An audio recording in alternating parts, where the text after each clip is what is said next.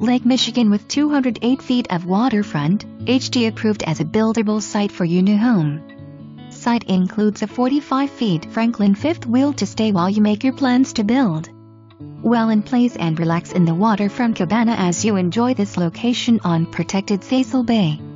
All this only minutes from Mackinaw City and Wilderness State Park.